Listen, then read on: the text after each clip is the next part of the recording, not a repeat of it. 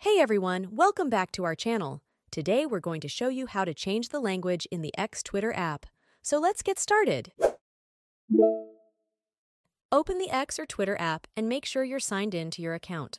When you're on the home screen, look for your profile icon in the upper left corner of the screen and click on it. Clicking on your profile picture will open a new page where you will find the Settings and Support option and click on it.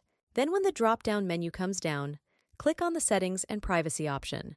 Then on the next page, scroll down to the Accessibility, Display, and Languages section and click on it.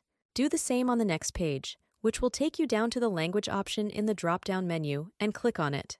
Apps will open you a new page where it will offer you two options, like Preferred Language, which represents the main language you use on your smart device and allows you to use that same language in X in terms of titles, buttons, and other texts. Other language, which represents the selection of another language, which in addition to the main language, you can see the content in another language. We will choose the first option and click on it. Then on the next page, click on Update Language. In the Languages menu, you will see a list of available languages. Scroll through and select the language you want. Once you select your preferred language, the app will update and display in the new language. And that is that.